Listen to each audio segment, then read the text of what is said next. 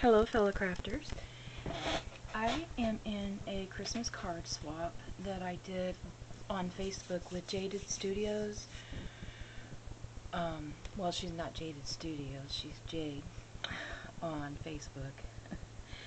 um, I'm not going to tell you her last name, she may not want me to tell people that. But anyways, there is, uh, you create 10 Christmas cards and send them to her and she sends you back 10 different ones.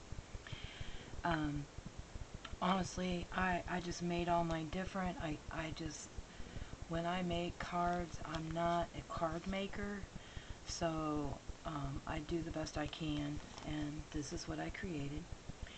This is an old paper line by K & Company that I used here.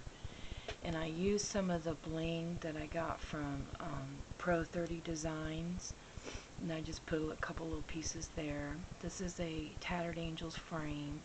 Um, I just distressed it a little bit and glued it on top of where the ornament is. And that's it. That's all I did to it because it's already had glitter and everything on it. And I just used uh, pink cardstock for it.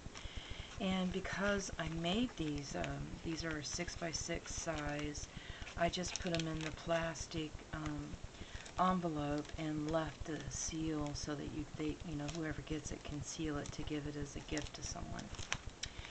This one here, um, it's a five, five and a half by five and a half, and I did put um, Happy Holidays inside. It says Seasons, and the tree is cut out with an old Sizzix die, and I used the corrugated paper. Wrapped some trim around it and just added a couple of wreaths. There's that one.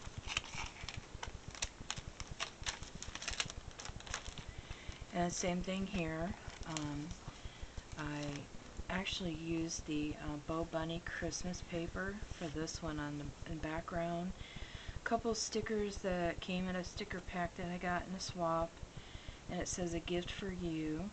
And another one of the trees and a couple ornaments I put on there. So there's that one. And this one here I was having such a hard time with it because I put everything in the center. I had to call my friend Sabrina, this the card making queen. um, hi Sabrina, and she um, helped me out, and I put this uh, poinsettia down here, and these are some die pieces that I had, and it says celebrate. That's an old rub rub on that I had, and a trim that I did get from Sabrina. So there's that one. I didn't do a whole lot of the inside because I figured whoever got it might want to write a note or do whatever they want inside as well. This image here was from K & Company and this one as well. Um, this little green swirl was cut with, um, excuse me, a, um, let's see, die that I got from um, MFT stamps and this one is called the Dynamic Fancy Flourish. Isn't it cute? And then I just added some bling. Two of the um, poinsettia flowers that I had, and this is um, the Dove, Sizzix Dove. Put that on there. I thought that was cute. Now these other cards came in a kit that I picked up from um, uh, Ross and um, it had instructions on how to put it together.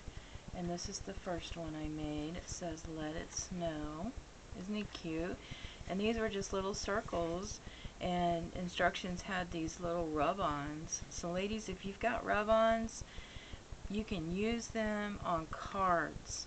I didn't even think about doing that because I've got rub-ons from years ago and after making these cards, it just gave me the idea that I can, you know, incorporate them. And here's another one. It's got um, a calendar that I rubbed on the little piece of paper. And a little snowman on there. Isn't it cute? And then this one says Believe, and it's a big chipboard um, poinsettia. And then this one here says Joy and these are little chipboard pieces and these are just strips of paper layered up. Isn't that cute? It says joy. And then this one says joy as well and it had this border of these ornaments and then the little piece of trim here that I glued on and then these um, three circles and then these little letters came in the kit. So I thought that was really cute so that's what I'm sending out today for my card swap. I will be back to show you what I get. Thanks for watching and hey have a nice holiday. Bye now